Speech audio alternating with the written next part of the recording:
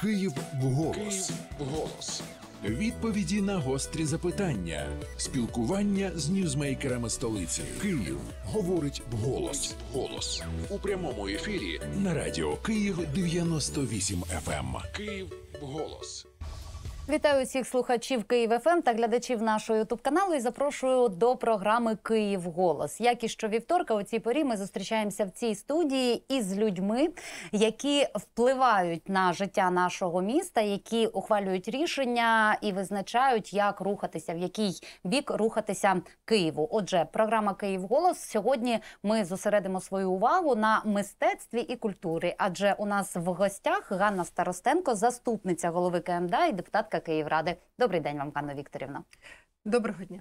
Давайте запросимо і наших слухачів до розмови. Вони мають можливість писати свої запитання, своє бачення, свої пропозиції. Будь ласка, робити це можна як і на наш вайбер 098 009 98 98, а також можете е, писати свої запитання, свої думки під нашою онлайн-трансляцією у Ютубі. Чекаємо на вас. Поки що розпочинаємо. Знаєте, Ганна Ганно Вікторівно, перш ніж безпосередньо до а, ж, культурного життя і мистецького життя міста перейти, я хочу з вами обговорити кілька таких загальніших тем. Одна з них, от остання сталася в кінці минулого тижня. Вона сколихнула фактично літературну спільноту українську, е, коли з'явилася новина, що відомий український письменник Андрій Курков погодився виступати на представляти Україну на заході, де братиме участь і представниця Росії. Ну із так званих хороших русських. Е, як би ви прокоментували е, от цю ситуацію? Ну я загалом поділяю точку зору, що українці, українським митцям варто відмовлятися від бра, е, брати участь у заходах, де беруть участь росіяни. Але тим не менш, ми розуміємо, що можуть бути і виключення, якісь певні винятки. І я впевнена, що е, Андрій Курков він е, зробив свідомий вибір, зваживши всі за і проти. Е, ну наскільки мені відомо, е, там будуть е, представлені.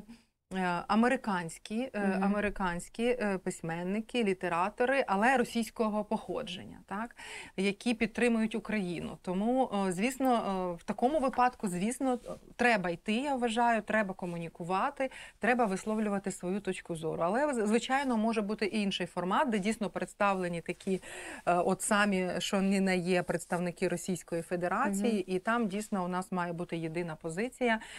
Позиція.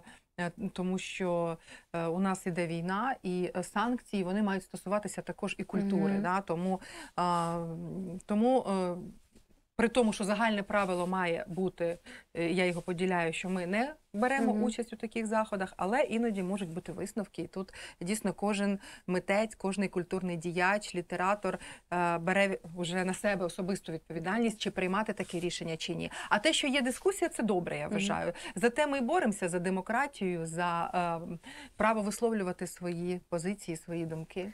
Знаєте, в цьому контексті одразу згадалася вчорашня історія. Вона багато е, було у Фейсбуці повідомлень про фотосесію єкатеринбургських балерин із військовими. І хтось не пам'ятаю вже хто дуже гарно написав, е, що танки ніколи не приходять першими. Спочатку приходить балет. Приходить Пушкін, приходить отаке, а потім приходять танки. Ось тому я думаю, що тут наша позиція має бути однозначна. Я з вами згодна, і е, треба зважати на те, що Росія багато століть використовувала культури в е, е, побудові своєї ідеології. Да, своєї такої е, колоніальної імперської е, позиції, державницької позиції. Тому ви абсолютно праві. І тому, коли кажуть, що при чому тут культура чи мистецтво, тому що їх використовує ворог. Угу. Саме тому. Але ви бачите, наскільки сильна потужна е, е, позиція, яку зайняла да, РФ, як наш ворог.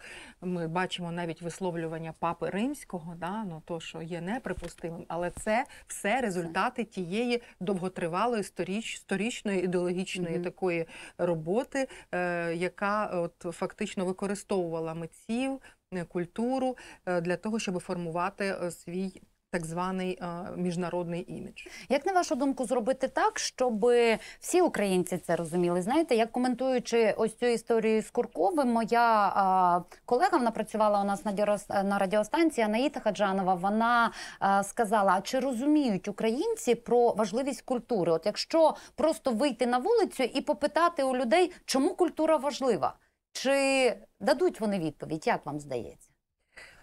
Е, мають дати. Ви знаєте, війна це ж якраз і про те, е, що ми відмінні від нашого північного сусіда. Це про нашу ідентичність, це про нашу унікальність, про нашу історію, е, і про нашу і- про це все говорить наша культура, наше мистецтво. І тому, якщо ми того не розуміємо, наскільки важлива сьогодні культура, мистецтво, історія наша в цій війні сьогодення, да? якщо ми не будемо вивчати історію, нашу культуру, не будемо зважати на всі ті моменти, які були в історичному контексті, ми не зможемо виграти в подальшому війни. Тому е, е, ви знаєте, я бачу по містянам, по киянам в Києві зараз багато також і е, людей переміщених осіб, і інших містян, так ми їх називаємо вже не тільки киян, хто сьогодні живе в столиці. І ми бачимо, що вони то розуміють, тому що, наприклад, от нещодавно ми аналізували роботу наших закладів культури, Мгм. от, наприклад, театри. Театри переповнені сьогодні. Люди йдуть в театри, вони розуміють, вони шукають відповіді на ті чи інші питання. Е, Музеї, при тому, що під час війни музейні фонди, найцінніші музейні фонди сховані, знаходяться в фондосховищах, але музеї сьогодні теж експериментують і пропонують цікаві дуже е, музейні проєкти, мультимедійні. Е, Різні такі синергетичні з різними іншими видами мистецтва, Мгм. поєднані з тим же театром. От і е, там теж багато людей. Тому ми бачимо, що сьогодні е, українці шукають відповіді на питання, і саме в культурі намагаються черпати і енергію, і шукають розради, і шукають відповіді на питання, які існували вже Мгм. сторіччями. Ну, дивіться, я вчора мала розмову зі своїм 14-річним сином, який у мене запитав. Ми все почалося із е, якоїсь поганої оцінки з української літератури, і він мені каже: для чого взагалі це? Як воно мені в житті знадобиться? Я йому почала розповідати, що читання будь-яких книжок це не е, знання сюжету цієї книжки, так це е, формування світогляду, це словниковий запас і так далі. І він мені каже. Так а чого? А чого тоді ми записуємо? Чого тоді на е, зарубіжній чи на укра- на зарубіжній здається літературі? Ми записуємо а, в конспект визначення, що таке епілог, для чого для чого ми вчимо ці терміни, якщо нам треба просто ну там вміти, ну не вміти, а багато читати. От може звідси починається, от зі школи, коли е, дітям, ну, дітям не дають право вибору, читайте книжки ті, які хочете. Ну, тобто дають, всі можуть читати будь-які книжки, але є ось цей обов'язок, є ось ці конспекти. Отут воно формується, мені здається. Знаєте, ще раніше не в школі, а в садочку. Садочку ще формуються основні навички, е, компетенції і те, що у нас зараз відбувається реформа. е, І я дуже рада, що реформа нової української школи продовжується. Да? Вона вже перейшла і на середню школу, і е, наразі ми чуємо заяви про те, що і і буде фінансування саме е, нової української школи з державного бюджету. Це дуже важливо, тому що е, знання сьогодні динамічно змінюються. І дуже важливо дітям в першу чергу дати отой необхідний інструментарій, а, які ну, такі компетентності, які дозволять їм вчитися протягом життя. Це не про зазубрити, це не про вивчення якихось термінологій, а це про саму мету дати дітям цю методику, як вчитися протягом життя. Угу. І, е, до речі, культура, мистецтво воно дозволяє розкривати в дитині, в кожній людині емоційний інтелект.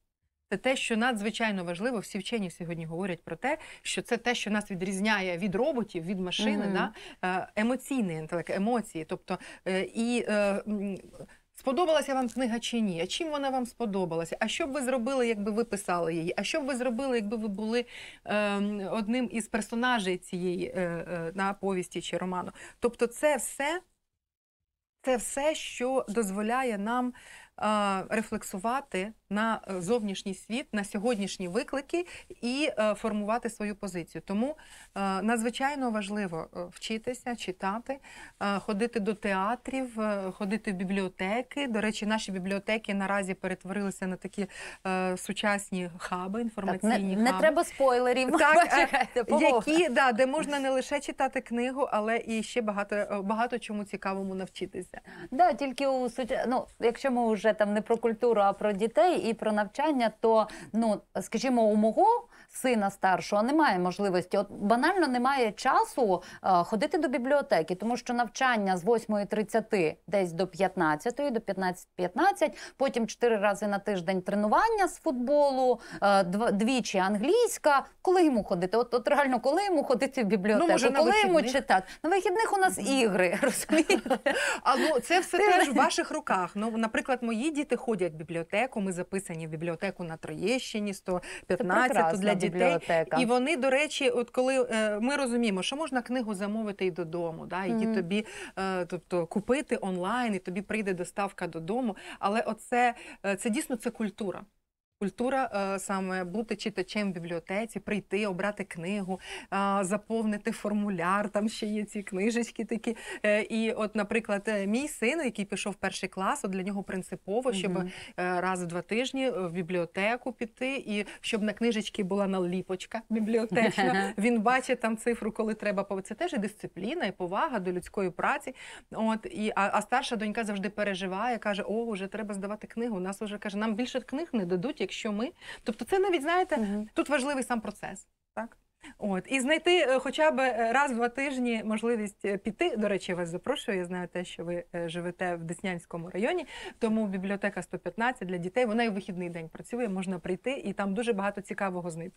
Працює зараз, бо дивіться, ми користуємося активно бібліотекою 115 влітку, коли вчителі задають список літератури на літо, і ми активно працюємо. І мені треш, трішечки не подобалося, зокрема, а, там минулого літа, не цього минулого, що бібліотека працювала з 11 години, якщо не помиляюсь, до 6. Це якраз час ми знаходили можливість е, е, відвідувати її. Але хочу вам ще розказати: от е, ви сказали про те, як змінюються бібліотеки. Я, я просто власний кейс, власний досвід хочу.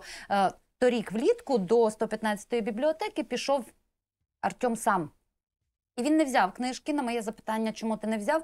Він каже: Я прийшов, а там тьотя мені каже: о, там поличка, йди шукай. А я не знав, як її знайти. Я не знав, як шукати. Ну, 13 років, Ну, е, в принципі, дитина могла би уже сама знайти, але мій посоромився, пішов без книжки. Я набираю номер бібліотеки, потрапляю на не знаю, чергове, просто якусь людину, озвучую свої. е, Ну, це не були претензії, це були побажання. Що в принципі, якщо дитина приходить е, за книжкою, то бажано би їй допомогти.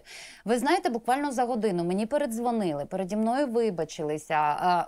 Я не просила вибачень, але було дуже приємно, е, бо там в моєму, в моїй студентські роки бібліотека це було місце, де треба набратися нервів, терпіння, щоб замовити собі книжки. Зараз все по-іншому. Зараз все таки от е, клієнтоорієнтовані бібліотеки стали. Навіть бібліотеки, не лише приватний бізнес. Ну, ви знаєте, це бібліотека це місце зустрічі в першу чергу Мгм. з книгою, з автором, з цікавою особистістю, з іншими людьми, які теж люблять читати. І тому е, і не тільки читати. Зараз фактично в кожній бібліотеці є також. Ігротека, набір ігор Мгм. да, для того, щоб там е, діти могли розважитися, пограти. Ну, як правило, це такі пізнавальні ігри, командні ігри. Е, сьогодні, от з початком війни, взагалі бібліотеки перетворили в тому чи перетворилися в тому числі і на пункти незламності. Туди приходять люди, запитують інформацію.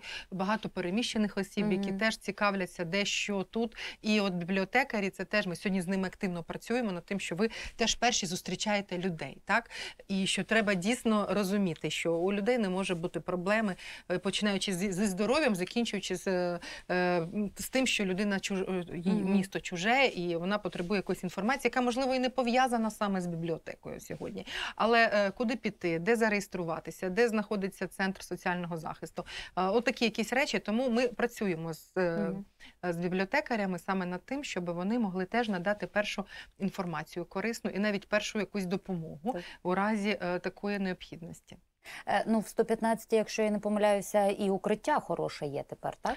Так, ну звичайно, для нас з початком повномасштабного вторгнення питання е, безпеки стало питанням номер один Мгм. і для закладів освіти, але і для закладів культури. Також у нас є заклади мистецької освіти, де навчаються діти, і тому відповідно там сьогодні е, теж ведуться роботи і по облаштуванню укриттів. І дійсно в бібліотеці номер 115 минулого року вдалося Мгм. нам зробити, е, і воно визнано най, найкращим, найбільш дружнім до дитини укриттям е, серед бібліотек е, міста Києва. Е, І я впевнена, що наш обов'язок, щоб такі укриття, такі острівки безпеки були в кожному нашому закладі, тому що ми розуміємо, що це е, війна може бути надовго, і е, головне, що в нас є, це наші діти, і е, в першу чергу вони мають бути убезпечені. Тому що їм жити потім після перемоги в цій країні, їм розбудовувати наше місто. Тому вони мають зберегти своє життя, ментальне здоров'я, і ми їх маємо підготувати повністю до їхнього подальшого життя саме в країні. Тому що інакше, якщо всі виїдуть, то заради кого заради кого тоді воюють наші хлопці і дівчата зараз на фронті? Це правда. Повертаючись до теми важливості культури, давайте трішечки поговоримо про гроші. Е, Вже, якщо не помиляюся, дві суботи поспіль під міську адміністрацію приходять е, люди, е, які виступають проти, на їх думку, неправильного фінансування і розподілу міського бюджету. Я перш за все хочу у вас запитати за ці вже рік і сім місяців війни. Ви як людина, яка опікується там мистецтвом, культурою, як часто ви чули на свою адресу, що а, ми не будемо фінансувати цей проект? Яка культура? У нас війна в країні. Для чого нам культура? Як часто ви таке чуєте? Ви знаєте, в нашій команді, я маю на увазі в команді Віталія Кличка, Київській міській раді, я жодного разу за цей час не чула таких Мгм. висловлювань, як ви говорите.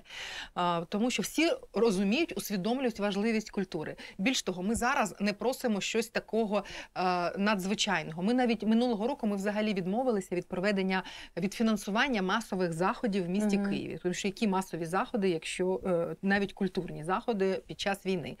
Е, Головне це дійсно безпека, і головне утримати. Нам було минулого року надважливо утримати е, наші заклади культури, наші колективи, створити безпечні умови, забезпечити їх усім необхідним, аби вони пережили складний період зимовий. Тому в першу чергу були укриття, в першу чергу зарплата, комунальні послуги, закупівля обладнання необхідного, в тому числі і генераторів, е, в тому числі і енергоощадних е, освітлювальних там елементів і таке інше. Тому е, ми не просили багато. Більш того, навіть головна ялинка і новорічне е, свято, яке ми зробили досить е, лаконічним, з е, дотриманням всіх вимог воєнного часу, е, ми зробили за кошти меценатів. Ми е, не витратили жодної копійки з бюджету для того, щоб е, те невеличке да, дерево. Символічно було, тому що в Києві на той час було 300 тисяч дітей, е, і вони теж е, потребували того дива, свята Різдва, яке приносить нам цей новорічно-різдвяний період. От тому і цього року ми не витрачаємо кошти на проведення якихось заходів. Ви бачите, і на День Києва навіть не було якихось загальних святкувань. Навпаки, всі заклади нас розуміють, але тим не менш, кожен заклад е, він на сьогодні експериментує, е, визначає, а які ж потреби, які потреби у. У киян, у містян Мгм. на сьогодні. І ми бачимо, що особливо от зараз от наші театри показують, що вони знайшли да, своїх от, від, від знайшли тих глядачів, які були в них до війни. А можливо, нових вони вже знайшли. Нові постановки цікаві. Звісно, уже е, вони рефлектують також на, на події війни. Дуже багато е, прем'єр пов'язаних саме з ну, на військову тему, на тему переміщених осіб. І е, це дійсно. Е, Відображення того, що відбувається в наших головах, да, і в наших розумах, і, і також пропонують цікаві благодійні заходи. Дуже багато наших закладів культури сьогодні е, волонтерять, проводять благодійні акції і їздять з виступами. На передову і тут проводять благодійні е, е, різні концерти, постановки, вистави. Тому е, на сьогодні, знаєте, е, всі зрозуміли нову роль нову роль мистецтва е, і культури в місті Києві. Це особливо підкреслювати нашу ідентичність, це лікувати рани. То мистецтво лікує. Ми теж це як арт-терапія, Е, це можливість дати розраду людям, які вже згорьовані е, і втомилися десь, можливо, е, від війни. Тому прийти. Е, І на дві е, чи на півтори години відключитися, змінити обстановку, е, і це має дійсно терапевтичний ефект. Ну і це доступно. Давно не була в театрі. До речі, давно не була в театрі. Не знаю, що зараз по цінам. Ну от часто ходжу, наприклад, в кінотеатр жовтень на всі от фільми. 150 гривень будь-який сеанс. Прем'єра, не прем'єра, 150 гривень. Це те, що людина, мені здається, може собі дозволити, навіть попри те, що наші доходи сильно впали. Більш того, ми також переформатовуємо нашу мережу відповідно Мгм. до е, потреб воєнного стану, тому що війна це жахлива біда, це трагедія, але це також вікно можливостей переосмислити ті речі, е, які е, чи не було часу, чи не було можливості переосмислити до війни. От, наприклад, ми наразі за ці останні півроку повністю змінили концепцію е, мережі наших кінотеатрів в місті Києві. Вони ще до війни у нас під час ковіду ми бачили, що діяльність цієї мережі занепадала, тому що в зв'язку з ковідом не могли люди відвідувати кінотеатри. Е, Ну це взагалі була і загально е, світова тенденція. Ми бачили Мгм. те, що не лише в Україні відбуваються такі події. Е, І вже тоді зародилася така ідея, яка підтвердилася під час війни. Ми перетворили наші комунальні кінотеатри на багатофункціональні культурні центри, де можна не лише кіно подивитися, Мгм. функція кі- там кіно залишається, але ми ще туди додали. Там можна і вистави ставити різні, проводити акції, благодійні концерти, виставки і таке інше. І таким флагманом наших е, перетворень саме в системі створення багатофункціональних культурних просторів е, став колишній кінотеатр Краків. Тепер це тепер це Київський культурний кластер Краків, який запо- розпочав свою роботу в червні цього року е, на Русанівській набережній. І ми вже бачимо, ось три місяці пройшло з його роботи, вже майже чотири. Там е, кожного дня відбуваються дуже цікаві заходи е, і м, презентації фільмів, і е, благодійні. Аукціони, виставки, е, заходи, майстер-класи для дітей. Там е, цей заклад живе. Там угу. чути гамір дітей, там чути, що там е, диск- дискусію, культурну дискусію, інтелектуальну дискусію. Е, Там відбуваються благодійні е, заходи, і ми ще тестуємо, звичайно, цей формат. І я дуже сподіваюся, що на наступний рік уже в кожному нашому колишньому кінотеатрі комунальному можуть створюватися такі майданчики, де буде вирувати життя. Тому що от війна теж показала, що запрацювали особливо активно майданчики в кроковій доступності до, до, до людей. Люди, звичайно, е, е, більше надають перевагу, коли в тебе поруч з твоїм Так. е, ме- помешканням знаходиться місце, де можна відпочити, знайти розраду або бути залученим до якоїсь культурної. Культурного життя Ганна Вікторовна, зараз продовжимо, бо маю ще запитання і про кінотеатри, і про Краків. І ще хочу пам'ятаєте, на лісовій був кінотеатр Росія. Він є? Так. ні, його нема. Його Є немає. кінотеатр Кіото. Ми його перейменували Переймен- ще до війни. Давайте ми про нього окремо поговоримо. Взагалі, ще попереду багато тем, бо і про українську мову хочу ще поговорити, і про ці кіно, е, кінотеатри. І ми ще не закінчили тему з фінансуванням культури. Я хочу до неї повернутися. Е, Слухачам хочу нагадати, що сьогодні гостею програми Київ голос є Ганна Старостенко, депутатка Київради і заступниця голови Київської міської державної адміністрації. Залишайтеся буквально дві хвилинки. У нас новини. Е, Після цього повернемося і продовжимо розмову. Слухай Київ. 98 Новини Києва. 12.30 у столиці у студії Максим Остапенко. Далі новини коротко. Через нічну атаку дронів на кордоні з Румунією тимчасово призупинив роботу паромний пункт пропуску Орлівка. Як повідомили у державній прикордонній службі, усі транспортні засоби перенаправляють на інші напрямки. Громадян закликають врахувати тимчасові незручності та нагадують, що наразі можна скористатися автомобільним пунктом пропуску Ренні. На Херсонщині Збройні сили України завдали удару хаймарсами по тимчасовому пункту управління окупантів. Як зазначають в СБУ, ракети достроково припинили щоденну нараду російських офіцерів 24-го мотострілецького полку. Щонайменше восьмеро з них загинули, та семеро отримали поранення. Столичні правоохоронці викрили масштабну нарколабораторію з виготовлення небезпечного синтетичного наркотику альфа пвп Під час обшуку у наркоділків вилучили майже 70 кілограмів товару на 50 мільйонів гривень. До складу злочинної групи входило дев'ятеро осіб, двоє організаторів, дистриб'ютори та фасувальники. Тепер фігурантам загрожує до 12 років ув'язнення з конфіскацією майна. Наступний випуск за півгодини. Київ FM. Ми там, де новини міста. Слухай Київ.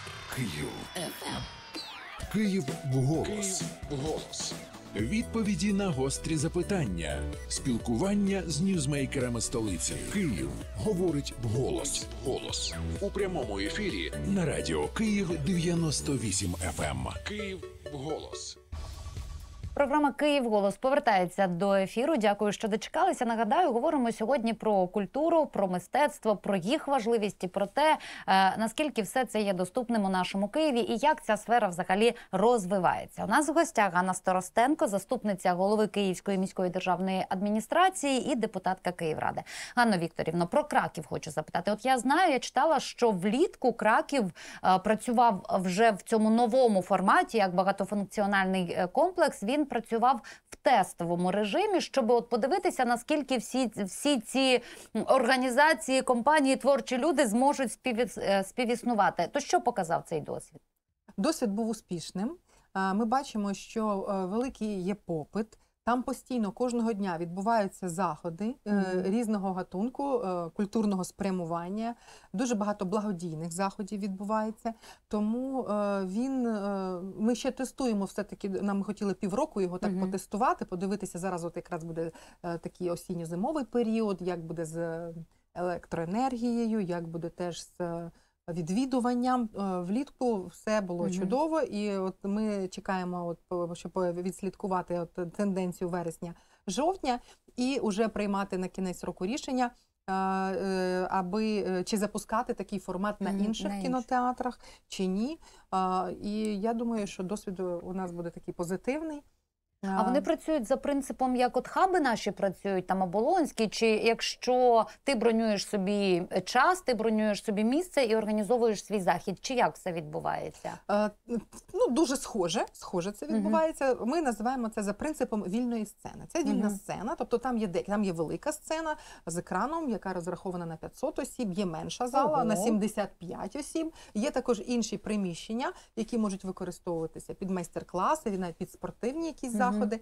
От і тому е, відповідно е, наразі ми дивимося е, саме от економіку. Тому що там треба все одно Мгм. о- організатор, який приходить проводити захід, він має оплатити і в тому числі кошти пов'язані з експлуатацією цього приміщення. Тому Мгм. наразі ми дивимося, аналізуємо в тому числі і економічний момент, наскільки ті показники, які е, ми поставили перед собою, можуть бути виконані. Але й дивимося, звичайно, ми дуже розраховані. Ми теж людиноцентричні, тобто ми дивимося, яку кількість людей охоплюють ці заходи. Тобто, наскільки наскільки затребувані, які саме заходи найбільш затребувані. Тому ми будемо вже е, більше визначатися е, десь під кінець жовтня, коли ми побачимо, як в осінньому форматі буде працювати цей заклад. Е, Кінотеатр колишній Росія, а нині Кіото. В якому він стані зараз? Е, Ми готували його до е, реконструкції. Е, До війни ми його перейменували. Тепер це кінотеатр Кіото. Кіото це місто побратим міста Києва. І напередодні війни ми святкували чергову ювілей наших стосунків. До нас приїздила делегація з Кіото, і там поруч парк Кіото знаходиться, де була посаджена висаджена алея Сакур. І у нас розроблена була проектно-кошторисна документація по реконструкції цього кінотеатру з метою перетворення його на багатофункціональний культурний центр. На жаль, війна завадила нашим планам, і сьогодні ми вважаємо, що не на часі, не на часі е, робити ці капітальні перетворення. Е, По Кракову там була інша історія. Фактично, е, роботи з капітального ремонту вони були завершені Тобто там Мгм. залишалися мінімальні якісь роботи завершити те, що було розпочато до війни.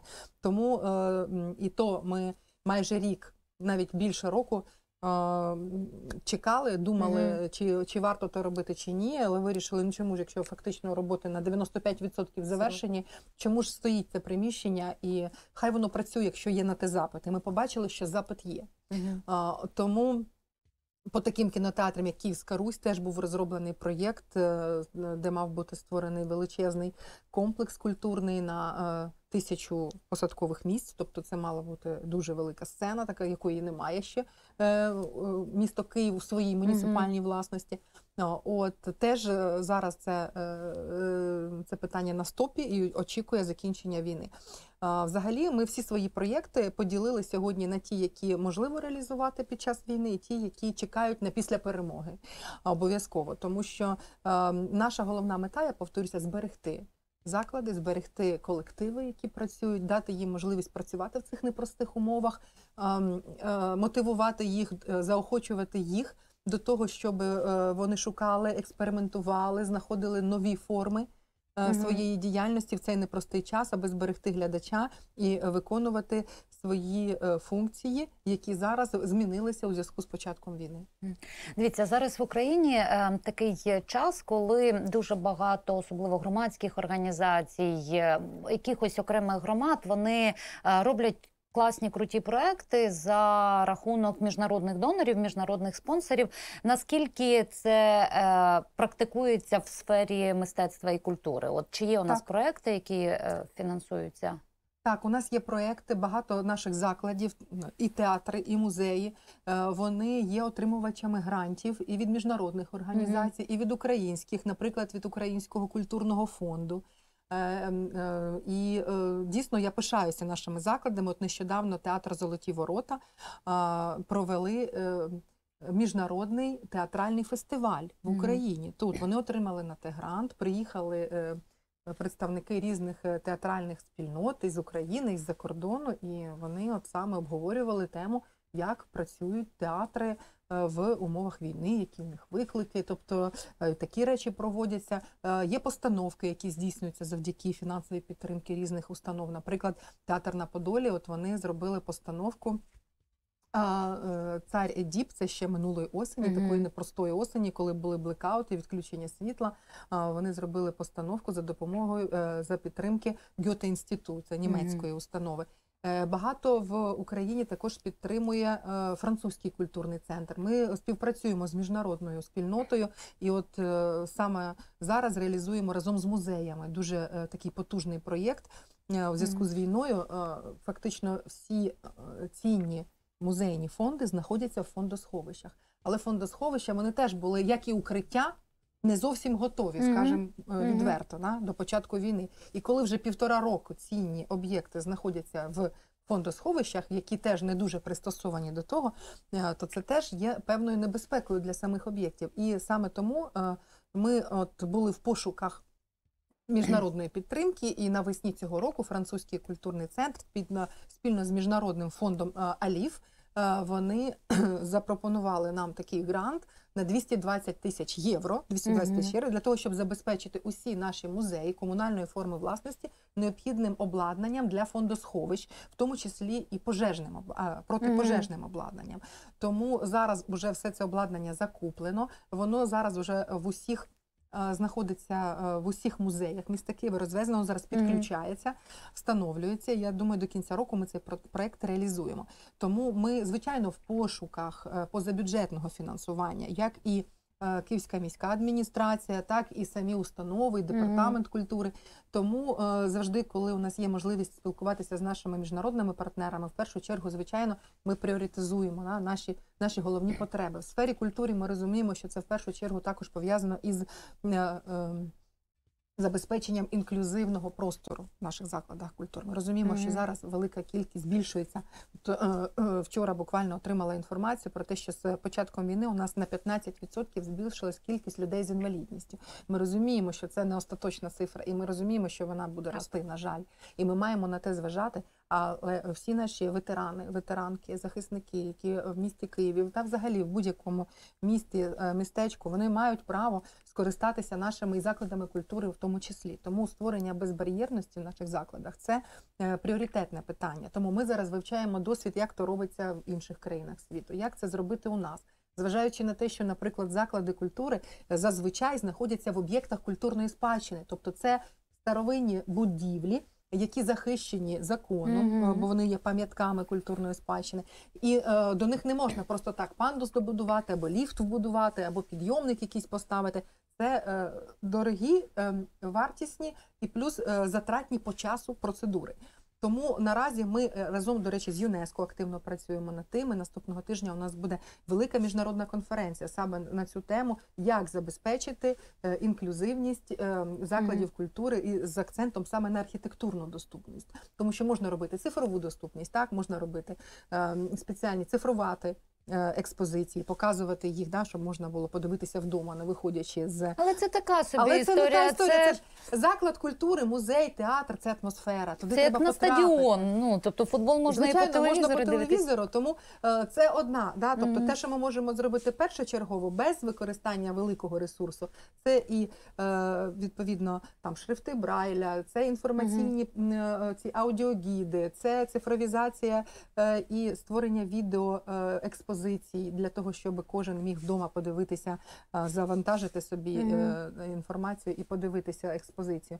Але також е, дуже важливий вагомий аргумент це саме архітектурна доступність, і це те, над чим ми зараз працюємо. Про безбар'єрність два слова не, не, в поєднанні, не в поєднанні з мистецькою темою, але ви, як депутат Київради, як людина із команди міського голови, багато зараз є інформації, в тому числі і у Фейсбуці. Там я підписана на багато на багатьох громадських активістів, і вони е, ну прямо е, дуже часто. е, Пишуть, що мало уваги місто приділяє безбар'єрності, а особливо а зараз це, як ми вже всі розуміємо, надзвичайно актуально. Тому в мене навіть не питання, в мене просто побажання. Ну от формується зараз бюджет на наступний рік. Там я знаю, там будете його ухвалювати рано чи пізно. Лобіюйте це питання всіма можливими способами. Все пандуси, дороги, Да. транспорт, все має бути доступне. У нас в команді є розуміння, і е, Віталій Кличко е, взагалі дуже пріоритизує це питання. Фактично на кожній його нараді він е, піднімає його, і ми обговорюємо всі ці моменти. Бо дійсно місто це дуже великий такий організм. Мгм. І дуже часто буває таке, що знаєте, от район там у нас навіть хрещатик, да, поділений, що одна його частина це Шевченківський район, да, а друга частина це Печерський. З одного боку зробили з'їзд, а з іншого не зробили. Або там переклали бруківку, а з іншого боку е, там асфальт, і там має застосуватися якась інша технологія, щоб то все зробити. Тому ці всі моменти, особливо це такі. Е, е, Да, е, це дійсно має бути все узгоджено, погоджено і е, ну, на сьогодні в місті Києві затверджений план реаліза... план, план з реалізації Мгм. заходів по створенню безбар'єрного простору в місті Києві, і, і кожен по ньому рухається. Звичайно, ми би хотіли робити більше, це правда. Але є обмеженість в ресурсі, ем, є певні технічні складнощі, скажімо так. е, Суб'єктивні і об'єктивні фактори, але е, дійсно дорогу осилить той, хто йде, тому ми рухаємося. І, наприклад, е, в тій сфері, за яку я відповідаю, завжди питання це стоїть номер один. Ми теж е, завжди це обговорюємо і шукаємо виходи, як то зробити, при тому, що Дійсно, ресурс досить, досить обмежений. І коли ми зараз бачимо, да, яка йде дискусія з приводу того, е, гроші на армію чи Мгм. гроші на дороги. Ну я дуже рада, що сла- що немає дискусії. От з приводу культури немає дискусії, що культуру потрібно підтримувати. Тим паче, що ми не вимагаємо чогось такого надзвичайного. Ми хочемо підтримати і наших людей, які працюють в закладах Мгм. культури. Ми хочемо забезпечити їм нормальні умови життя. Ми хочемо відбудувати, реставрувати, е, зробити е, протиаварійні заходи там. На тих об'єктах, які постраждали, і які, на жаль, е, мають небезпеку руйнувань, тому це обов'язково. Тобто, ми для себе пріоритети виставили, що це люди і ті пам'ятки, ті об'єкти, які постраждали. В принципі, Мгм. у нас іншої дискусії Дякую. нема. І е, за оці фактично вже 9 місяців 23-го року ми не витратили жодної копійки на проведення масових заходів. Мгм. Все, що відбувається в місті Києві, воно е, проводиться, як то кажуть, е, в межах тих бюджетів, які бюджетів, які виділені на ті чи інші заклади. Ну, дивіться, в Одесі, наприклад, активісти виступають проти ремонту театру, театру юного глядача. Бачите, там, там Одеса і суд хоче відремонтувати, який ремонтувався нещодавно. Але і ну я пам'ятаю ці плакати проти ремонту тюзу. Ну, дивіться, у нас дер ідуть ремонти. У нас на сьогодні йдуть Київська картинна галерея. Да? Це е, наш сторічний музей, який відсвяткував минулого року, саме під час е, ракетних оцих масованих обстрілів, відзначив цей заклад 100 років. Тобто, це е, видатна наша е, культурна установа. Е, На жаль, постраждали. Ми виділили на них кошти. Вони здійснюють реставраційні роботи. Мгм. Тобто, ними, слава Богу, не викликає питань. Музей Ханенків, музей видатних діячів. Ну, Це, все знаходиться в центрі. так. Да, е, є заклади, де ми робимо укриття. Наприклад, Мгм. театр Дивний замок. Він знаходиться в підвальному приміщенні, і е, там ідуть е, сьогодні ремонтні роботи саме е, тому, що він має подвійне призначення. Це може бути і театр, і укриття одночасно. Наші заклади мистецької освіти, е, наша е, академія Глієра, академія е, інститут музики Мгм. Глієра, академія танцю Сержа Лифаря, де вчаться діти. Там будуються укриття, на це виділяються кошти. Київська академія мистецтв, тобто теж укриття. Тобто там, ну правда, на сьогодні я не чула е, жодних, принаймні, публічних якихось зауважень, що ми кудись не туди Ну, витрачаємо гроші. А звісно, такі великі е, реконструкції, е, реконструкції, як Київська Русь, кінотеатр Київ, Кіото. Братислава, це те, що залишилося на після перемоги. На Після перемоги. Так, про українську мову. Люблю з вами говорити про українську мову. Е, навесні, якщо не помиляюся, була ухвалена програма ствердження української мови у всіх сферах життя Києва. Е, які уже чи є вже щось предметно показати і сказати, от ми вже це зробили. Так, звісно, е, звісно, на в наших е, бібліотеках запрацювали розмовні клуби. Мгм. Тобто в, е, 50 бібліотеках можна подивитися на сайті департаменту культури. От нещодавно ми публікували також е, перелік на е, сайті е, КМДА. Е, Інформацію, е, де е, можна е, записатися на ці розмовні клуби. Е, Розмовні клуби це такий легкий формат е, мовних курсів, так де можна уже для тих, хто, е, наприклад, трохи володіє, але можливо там мало практикує, приходити спільно читати літературу цікаву, розмовляти українською і покращувати свої знання. Також у нас є онлайн і офлайн мовні курси. Більш того, е, е, наш столичний університет Грінченка запропонував спеціальні курси для працівників сфери торгівлі і транспорту.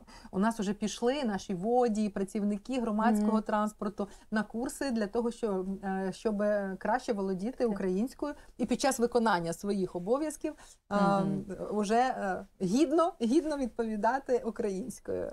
От тому робота йде, і на осінь теж планується низка заходів, і великий форум з української мови, і е, різні заходи для молоді, і відкриття е, на базі айхабу, е, також такого мовного хабу, де будуть збиратися наші фахівці і пропонувати нові рішення, аби ми ще більше чули української мови в повсякденному житті, і звичайно в сфері побуту.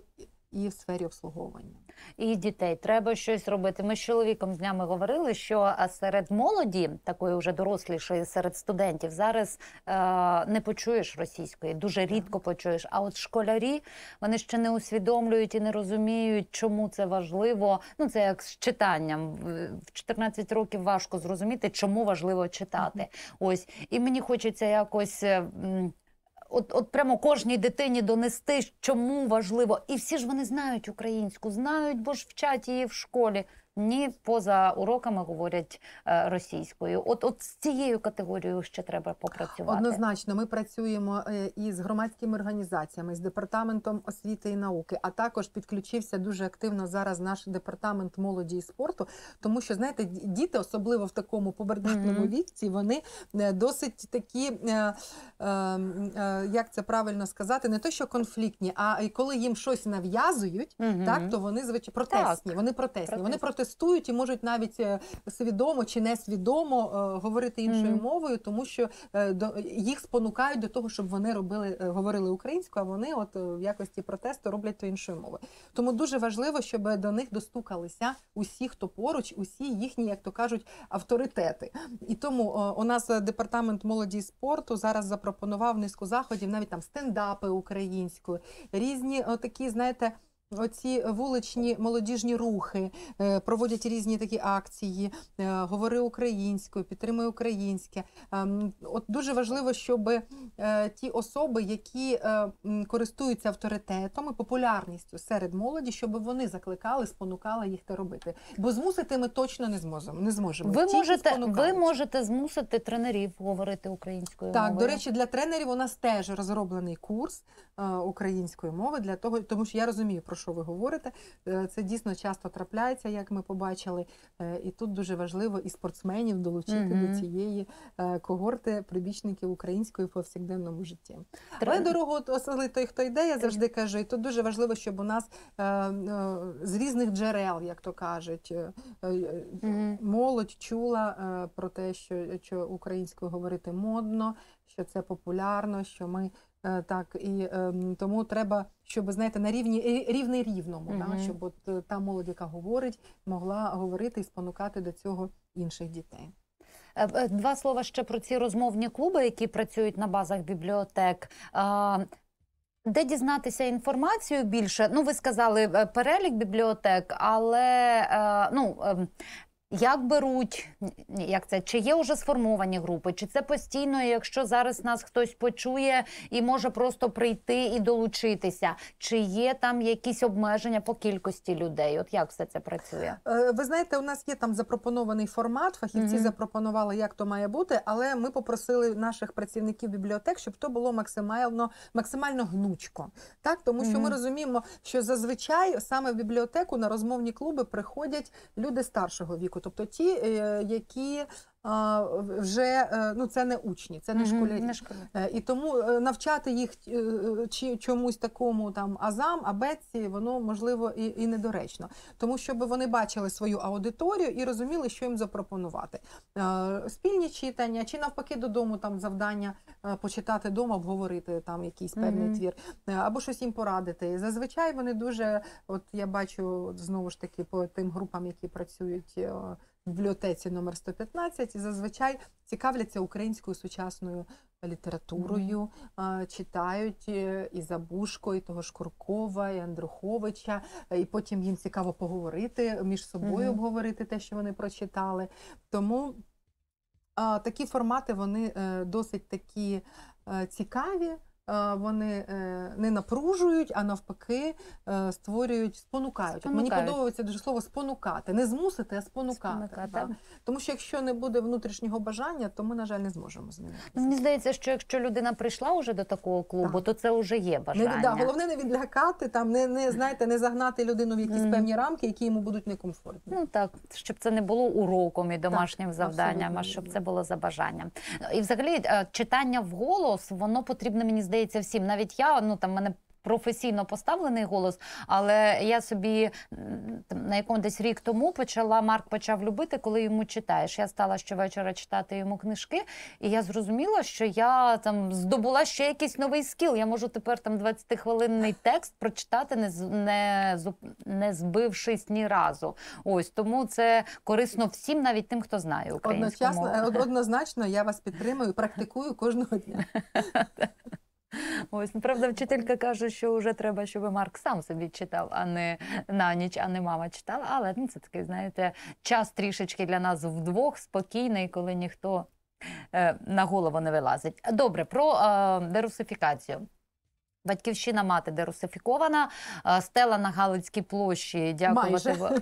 Вже майже? Е, Ой, ще не- Залишилася зірка на самому А. на самому е, верху, але на жаль, ми шукаємо техніку наразі. Там треба Ага. дуже е, висока техніка, там 70 метрів кран Ага. для того, щоб її зняти. Але ми зараз в пошуках, і ми там, тобто ті елементи, до яких техніка достал, дістала, ми їх зняли. А от іще ота зірка на горі, ми над цим працюємо.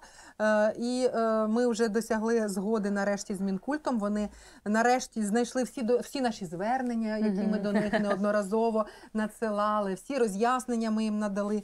І е, минулого тижня вже вони якби навіть зареєстрували, наскільки мені відомо, проект постанови Кабміну про зняття статусу пам'яток. Е, е, Національного значення з пам'ятників Щорсу і Пушкіна Е, це те, що ми чекаємо для того, щоб далі завершувати цей процес. Також пам'ятник Островському у нас в черзі на переміщення. Тому ми працюємо над тим, аби звільнити наш простір в місті Києві від елементів Радянського Союзу і Російської імперії. Це дійсно важлива тема. Культурна деокупація, вона і в звільненні простору, в перейменуванні вулиць полягає. Велика робота робиться також і на міжнародному культурному фронті, Мгм. тому що е, наш північний ворог так дуже часто теж і фактично крав не лише нашу намагається вкрасти не лише нашу історію, але й нашу культуру, і наших Правда. культурних діячів, і митців, які е, часто ті, хто у нас з України, навіть з міста Києва, їх подавали як російських, Мгм. і тому це е, дійсно щоденна кропітка робота, які, якою займаються наші діячі культури, працівники наших установ культурних е, на, е, на міжнародному рівні і в місті Києві, зокрема. Так, ну і дуже коротко наостанок. Осінь завжди до війни, до великої війни, до повномасштабної війни була а, сезоном прем'єр у театрах. Що цього року а, новенького запропонує своїм глядачам культурна спільнота Києва? Більшість наших театрів уже розпочали сезон минулого тижня. Оперета, також е, наша київська опера угу. для дітей та юнацтва, яка знаходиться на Подолі. От минулого мені дуже подобається, що наші заклади, особливо ті, які спрямовані були на дитячу аудиторію, аудиторію, зараз запропонували цікаві продукти, дійсно цікаві прем'єри. Наприклад, от е, Київська опера для дітей та юнацтва. Вони е, 15 вересня презентували е, прем'єру Пінокія. А, тобто колишнє Буратіно, яке Мгм. да, всі знають нібито Ну, да, так. з, з, з нашого ще колись дитинства. Тепер це, по-перше, е, цікавий гендерний підхід, тобто не, не хлопчик, а дівчинка, Пінокія, е, на нове трактування а, да, е, відомого італійського твору. І е, так, постановка цікава, нова, нові костюми. е, Нові декорації і е, цікавий захоплюючий сюжет. Клас. також е, м, е, театр ляльок. От що у нас на Грушевського, е, то теж вони запропонували е, нові, е, нову прем'єру Чарівник країни Оз. Е, також ми бачимо, що і театр на Подолі, і інші наші молодий театр, театр на лівому березі. Всі на сьогодні вже виходять з своїми новими прем'єрами, новими творами. Е, І ми бачимо, що люди йдуть. І е, ну, мені приємно, коли мені дзвонять і кажуть, ми не змогли знайти квитки в театр, чи можете допомогти. Якось ми дуже хочемо потрапити. Це для мене, знаєте, Це ми завжди так визнання хочемо. нашої роботи. Ми хочемо на 100 тисяч в театр на Подолі Ну, і, це ні, так, це і ніяк це не можемо потрапити. вистава, так, за участі Богдана Бенюка. Е, І дійсно туди це вже це ще вона вже багато років іде в цьому театрі, і це дійсно топова, Топова. топова вистава. Всі хочуть на неї піти, і там завжди проблема з квитками. Е, Як ви казали, дорога сілі ті душі. да? Дякую вам дуже. Е, Нагадаю слухачам і глядачам, що сьогодні гостею програми Київ голос була Ганна Старостенко, заступниця голови Київської міської державної адміністрації, депутатка Київради. Говорили про мистецтво, яке під час війни живе, розвивається і яке надзвичайно важливе. Ходіть до театрів, дивіться кіно і слухайте радіо Київ 98 FM. До побачення.